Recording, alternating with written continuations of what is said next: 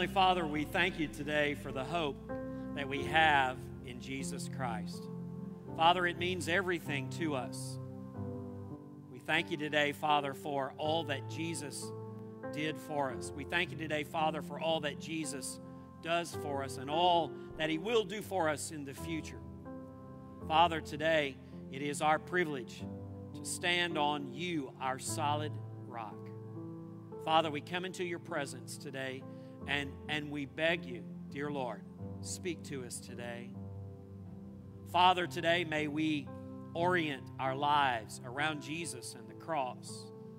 May we find our priority in Jesus. Father, be with us today as you always are. Lead us today as you always do. And Father, may we follow you wherever you lead. All God's people said, Amen.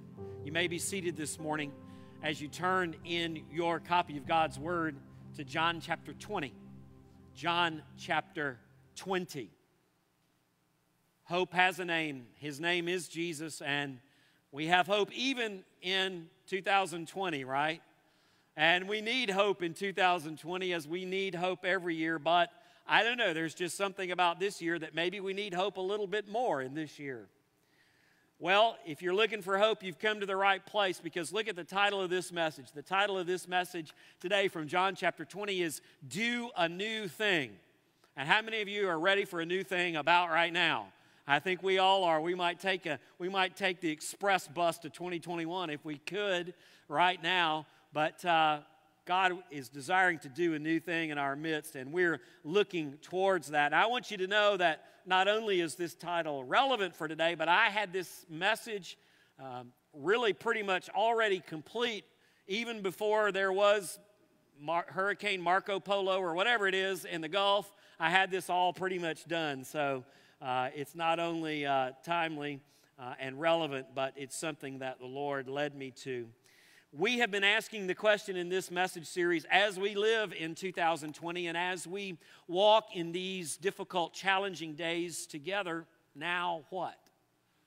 How are we as the people of God to respond to these difficult days? How are we as the people of God to live in this hour? And, and we found, listen, there's no shortage of scripture passages to speak to days like the ones that we're living in today.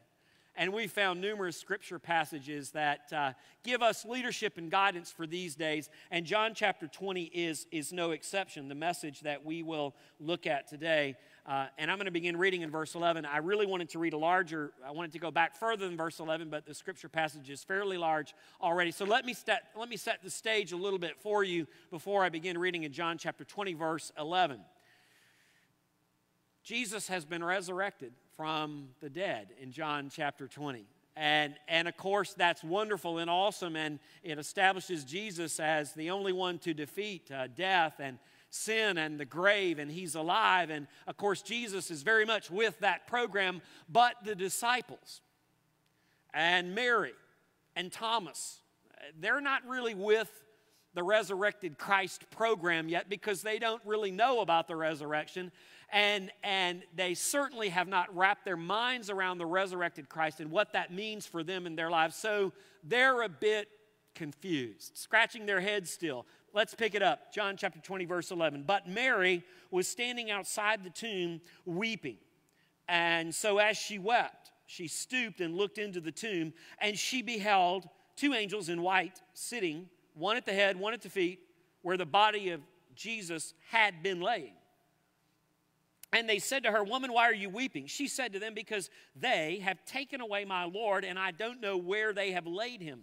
When she had said this, she turned around, and behold, Jesus standing there. And, and she did not know that it was Jesus. Jesus said to her, Woman, why are you weeping? Whom are you seeking? Supposing him to be the gardener, she said to him, Sir, if you have carried him away, tell me where you have laid him, and I will take him away. Jesus said to her, Mary. She turned and said to him in Hebrew, Rabboni, which means teacher. Jesus said to her, Stop clinging to me, for I have not yet ascended to the Father, but go to my brethren and say to them, I ascend to my Father and your Father, and my God and your God. Mary Magdalene came, announcing to the disciples, I have seen the Lord. And that he had said these things to her. Verse 19 When therefore it was evening on that day, the first day of the week, and when the doors were shut where the disciples were for fear of the Jews, Jesus came and stood in their midst and said to them, Peace be with you. And when he had said this, he showed them both his hands and his side. The disciples therefore rejoiced when they saw the Lord. Jesus therefore said to them again, Peace be with you. As the Father has sent me, I also send you. And when he had said this, he breathed on them and said to them, Receive the Holy Spirit. If you forgive the sins of any, their sins have been forgiven them. If you retain the sins of any, they have been retained. But Thomas, one of the twelve, called Didymus, was not with them when Jesus came. The other disciples, therefore, were saying to him, We have seen the Lord. But he said to them, Unless I shall see his hands and the imprint of the nails, and put my finger into the place of the nails, and put my hand into his side, I will not believe. After eight days, again, his disciples were inside and Thomas with them. Jesus came, the doors having been shut, and stood in their midst and said, Peace be with you. Then he said to Thomas, Reach here your finger and see my hands. Reach here your hand and put it in my side, and be not unbelieving, but believing. Thomas answered and said to him, My Lord and my God. Certainly, on that resurrection day, as Jesus rose from the grave, he was leading his disciples and Mary and Thomas to do a new thing. And as we think about these times in which we live and the story recorded in John chapter 20, I think it's important for us to commit to ourselves and to commit to the Lord that we are not going to get stuck in this life quake. Don't get stuck in the life quake. Today, for the first time in over 50 years, I think really for the first time since World War II, the entire planet is going through a challenging, difficult time all at the same time. One columnist recently wrote I learned that massive life disruptions, or life quakes, as I call them, strike people in the core of their being. Listen to this. He said they create meaning vacuums in which we feel frightened, overwhelmed, and stuck. That columnist really sort of poignantly captured the moment in which we live by calling them life quakes and talking about uh, the fear and the sense of being overwhelmed and, and the position that many people find themselves in today, that of being stuck. He captured that poignantly. I, I don't really think he did very well at prescribing the solutions to the problem, but he certainly captured the problem and painted the picture well. We're living in a life quake zone today, and, and people are struck at the core of their being. And there is most definitely today, in this moment, a meaning vacuum in which uh, there are many people who are frightened and overwhelmed and stuck.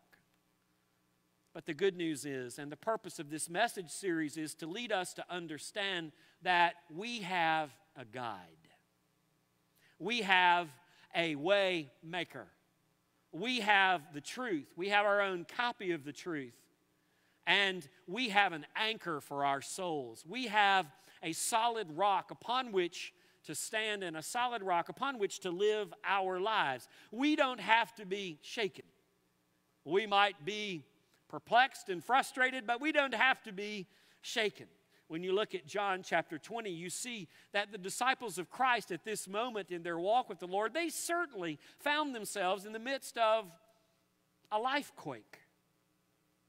There's Mary. She was standing outside Jesus' tomb weeping. If you look at the scripture there, you'll find that she was weeping not because she was just sad, she was not weeping because she understood the resurrection. She was weeping because she thought someone had stolen Jesus' body. She didn't know where he was. And she was standing outside of Jesus' tomb weeping, convinced that she was alone in her condition, doubting, no doubt, the continuation of her faith. Mary certainly was experiencing a life quake, and she demonstrated that by her tears. Meanwhile, over at the home office, you would expect things to be better at the home office, right? Well, not only were they not better, they were probably worse. The home office is reflected in verse 19. Look at what the disciples were doing. The disciples had gone into the room, cowered together, shut the door, and locked it, and were afraid, experiencing their own life quake, demonstrated by their fear. The disciples were there in that room, quarantined, doubting uh, the reality and the truthfulness of their experience with Jesus, asking themselves, as many are asking themselves today, now what? What do we do now? Saying things in their spirits and in their hearts like, did all of that really just happen? Was Jesus really crucified? Did we actually bury the King of Kings? Is he dead? And so it is that this life quake in the lives of the followers of Jesus brought tears and fears and doubts, which we will look at in more detail in a moment. And that led to an overwhelming sense of bewilderment and disorientation about the very plan of God. What about all the things that Jesus said? What about all the things that Jesus did? What about all of the promises that he made to us and to others? What about the hope? Where's the hope? Did the hope die with Jesus? Was God doing anything in that day? This is no doubt the kinds of questions that Mary and the disciples and Thomas were asking. God, what are you doing? I don't understand. Was God doing anything, or was that just the saddest, darkest, bleakest, gloomiest day in the history of the universe? On this side of the cross in 2020, looking back at that time, we say, Are you kidding? Was God doing something in that day? What do you mean? Was God doing something with the death and burial and resurrection of Christ? God was doing everything in that day. We have the benefit of hindsight, and we see back to the death, burial, and resurrection of Jesus very clearly. We can see it. And, church, one day we'll be looking back on these days with hindsight. We'll be looking back on these hours with 2020 vision, and we will see clearly that God is doing something in these days. God is moving in these hours. Because God is always doing something, and God is always moving, and God is always leading, and God is always present, and God is always here until we have 2020 hindsight on these days, though. Here it is. Here it is, church. Listen, God moves even when we are in a life quake. God moves even when you are in the middle of a life quake. And, and, if I may be even a little bit more bold and say this, sometimes God moves more forcefully and powerfully in your life quakes than He does at any other time because it is in the life quakes that we naturally turn to Him. It is in the challenges and difficulties of life that we naturally look to Him for leadership and guidance. Is God moving? Absolutely, God is moving. God moves even in our tears and our fears and our doubts. So then, what in the world was God doing? Leading His children to this kind of life quake in John chapter 20. Better yet, what in the world was God doing leaving his children in that kind of life quake? Because I think that's our real fear today. Our real fear is not necessarily that we've been led into a difficult time. Our real fear is not necessarily that we've been led into a challenging time. Our real fear is that God's going to leave us here. We're not necessarily scared of the challenge and the difficulty. After all, we are Louisianians. I saw yesterday on Facebook somebody said, I'm, I'm really not that afraid of the hurricane. I'm much more afraid of five days with no air conditioning. to which I say, Amen. That's exactly right. Our real fear is not the difficulty of the day, the challenge of the day. Our real fear is that God's going to leave us here. And I think that's what was running through the minds and the hearts and the spirits of Mary and the disciples and Thomas. What is God's purpose in life quakes? If we don't want to get stuck in those challenging moments, we need to understand God's purpose in these difficult, challenging times. What is God's purpose in sending life quakes and in leading us through life quakes? Well, I don't think I can say it any better than Isaiah 43. Isaiah 43 says, Do not fear, Ah, That's number one. John 14, 6, when Jesus was talking about his impending death to his disciples, he said, Fear not. Do not fear. God says, Isaiah 43, For I have redeemed you. If God has redeemed you, you don't need to fear anything. There's no reason to fear anything at all, as we say in the South. I have called you by your name. God has called you by your name. He knows your name. He knows your lot in life. He knows your position. He knows your tears and your fears and your doubts. I have called you by your name. You are mine. I will be with you when you pass through the waters. When you pass through the rivers, they will not overwhelm you. You will not be scorched when you walk through the fire, and the flame will not burn you. We looked at that passage of scripture last week, but look here at 4319. Look, I am about to do something new. Even now it is coming. Do you not see it? Indeed, I will make a way in the wilderness, rivers in the desert. Do you see it, church? There it is. What is God doing in the life quakes? What is God doing in your life quakes? In times of tear, tears and fears and doubts, He's doing something new. He is doing something new. And certainly at this moment in the life of Mary and the disciples and Thomas, God was doing everything new. A new way for us to relate to our Creator, a new covenant. God wants to do something new. In these days, God wants to do something new. In the midst of these quakes, God wants to do something new. In Isaiah's time, listen, the new thing was afar off. It was way off. It was out there in the distance someday. In Isaiah's time, the new thing was just a promise, a glimmer of hope out there in the future, a promise for a coming Messiah, a promise for salvation. In Mary and the disciples' time, Thomas's time, that new thing was revolutionary. It was about Mary and the disciples and Thomas becoming the body of Christ. Was about him ascending back to the right hand of the Father and them becoming his body on earth. Where they would do the same things that Jesus did while he was here proclaim Christ, proclaim salvation. Jesus appeared in the midst of his people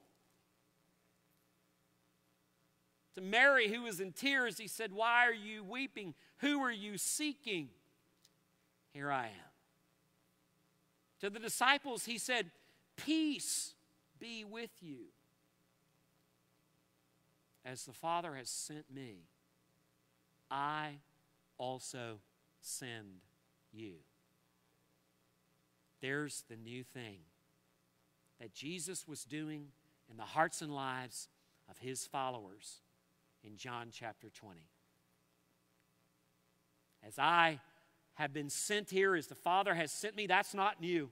Jesus had been here. But I also send you. That's the word apostle, it's right there. I'm making you my apostles. That's new. And that's awesome and incredible and earth shattering. Jesus led his disciples to something new. He said to his, his disciples, in essence, listen, we have the same mission as Jesus to seek and to save that which is lost. We have the same message as Jesus repent and believe in the gospel. We have the same method as Jesus preaching and teaching and ministering. We have the same motive as Jesus loving all people. We have the same muscle as Jesus, the authority of God Himself. He said, All authority has been given to me in heaven and on earth. Now you go. Go. Go. Spread the gospel. Share the good news. He said to his disciples who were afraid and locked in that room, quarantined there, receive the Holy Spirit. Verse 23 If you forgive the sins of any, their sins have been forgiven them. If you retain the sins of any, they have been retained. Receive the Holy Spirit and proclaim the forgiveness of sins through the body and blood of Christ. Today, in our time, and in our life quake, the new thing that God wants to do is the same as it was for Mary and the disciples. Receive the peace of Christ, receive the Holy Spirit, share the forgiveness, walk with Jesus, become like Him, be in Him as He is in us. Today, in our time, the new things that God wants to do in you, listen, the new thing God wants to do in you, it's always, always, always about Jesus. The new thing He wants to do in you is about Jesus. It's not about you, it's not about me, it's about Christ. The new thing that God wants to do in our midst is about Jesus. The new thing that God wants to do in our nation is about Jesus. The new thing that God wants to do in our world is about Jesus. You say, well, Jesus is not new. Well, He's new to us. He's new to the billions of people that don't know Him. Jesus is always new and fresh. There are always new ways to live in Him. There are always new steps of faith to take in Him. There are always new ways to know Him. There are always new ways to be more like Him. Jesus is never old. And if He seems old to us, if He seems stale to us, it's because our walk with Him has become old. And our walk with Him has become stale. And our walk with Him has become plateaued. And as He leads us to new things, the question that rings out is will we let Him? Will we let Him do something new in our hearts and lives? Will we let Him lead us to a new place? Will we let Him lead us to a new level of faith? The real question is not, is God going to leave us in this life quake? The answer is no. He's not going to leave us in this life quake. That's not the question. The real question is not, is God doing something in this day? Is God alive? Is He speaking? Is he leading? That's not the real question. The real question is will we let him? And when you look at the believers who are here in these verses, in all of their lives, there's this progression from disorientation and confusion and tears and fears and doubt to recognition of Jesus to new faith, to new commitment. Think about the disorientation. initially, there it is in Mary. She's in tears. There it is in the case of the disciples, they are in fear. There it is in the case of Thomas, and we haven't said too much about him, but we'll focus on him underneath this last point. In the case of, in the case of Thomas, the disorientation is doubt. And then there is the recognition. Mary recognizes Jesus and she says, Rabboni, teacher, I see you. The disciples, verse 20 says, they rejoiced when they saw the Lord. They saw him, the resurrected Christ. Thomas is perhaps the most interesting case. And I wanted to look at his whole case study here.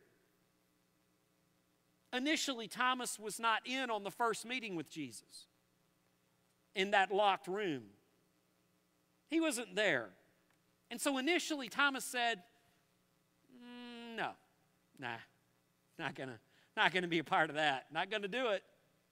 The answer is no. Thomas missed the first meeting with Christ, and you know how it is when you miss the first meeting, right? You're not with the program when you miss the first meeting. When you miss an initial meeting about a new program or you miss an orientation meeting, you're just not with the program. Now, if you miss a meeting in the Baptist world, they'll elect you chairperson of the committee. but it's not that way in the rest of the world. If you miss a meeting in the rest of the world, you're just not with the program. Thomas was not with the program. He was the lone holdout. There's, there's that person in every office there's that person in every classroom, there's that person in every family. They're the holdout, the last remaining one standing out there, the odd person out. And Thomas said, Hmm, I'm not doing anything until I have proof. I'm not doing anything until I know. Till Jesus himself shows up. I shall not be moved. I'll not do one new thing.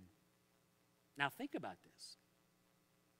For eight days, Thomas was stuck in the life quake. The other disciples were wrapping their minds around the resurrected Christ. They're wrapping their minds around, you know, I also send you. They're wrapping their minds around the apostle idea. We're apostles. But for eight days, Thomas is stuck in the life quake. For eight days, Thomas remained in the doubt. For eight days and seven nights, Thomas went on living his life as if Jesus was dead. For eight days and seven nights, Thomas went on living his life as if there had been no resurrection, as if it was all over there's that person. They're always there. How does Jesus deal with that person? He left the 99 and he went for the one. In John chapter 20, he holds another meeting and comes back for a second time just for Thomas, just for the doubter. He comes into the room again. And he says, Peace be with you. And he looks at Thomas and he says, Reach here your finger. See my hands. Reach here your hand and put it in my side. And be not unbelieving, but believing. Respond in faith. Do the new thing that I'm calling you and leading you to do. And Thomas, doubter though he was, and Thomas, suspicious though he may have been, had a greater moment of recognition than I think all of the other disciples and Mary combined. You know, I guess the longer they hold out, the bigger they fall. You know, the bigger they are, the bigger they fall. And Thomas has an incredible moment of recognition. And he says, My Lord and my God.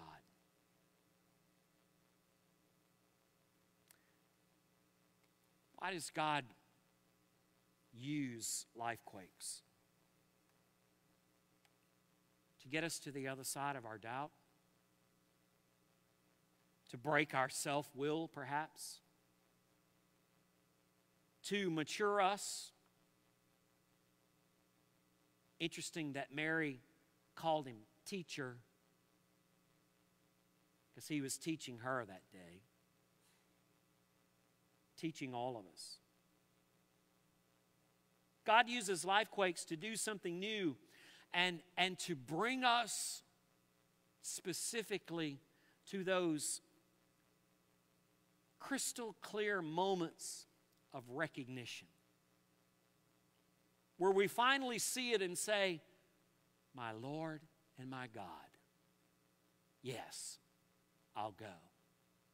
My Lord and my God, Yes, I'll surrender.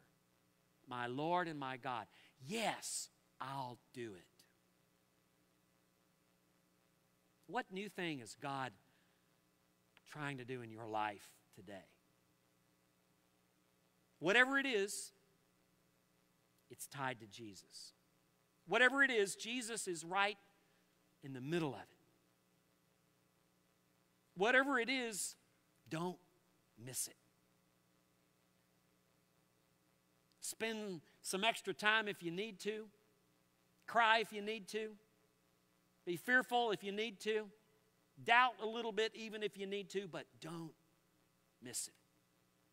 Come to that moment where you say, My Lord and my God.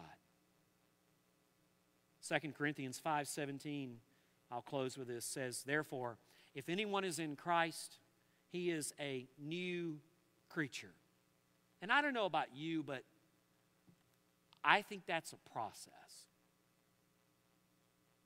I think we are in process of becoming new creatures all the time.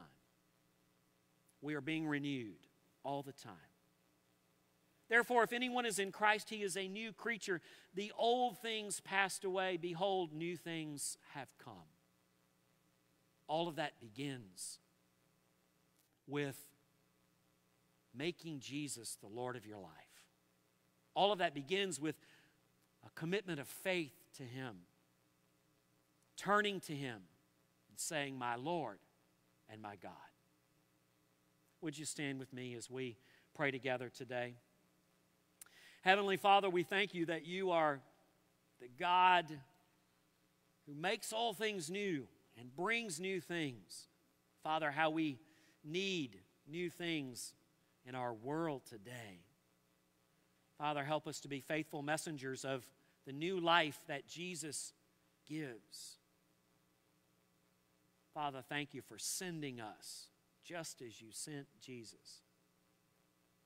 Father, you are our Lord and our God. You are our Master and our King. Strengthen us and empower us as we leave here with the Holy Spirit to be your witnesses. In Jesus' name we pray. Amen. And as always, if you need to talk to any staff member about new life that can be yours through the Lord Jesus Christ or any issue, you can text us at that phone number. We'd be more than willing to talk with you and help you in any way that we can. You can exit out the front doors. There are offering plates at the doors for your tithes and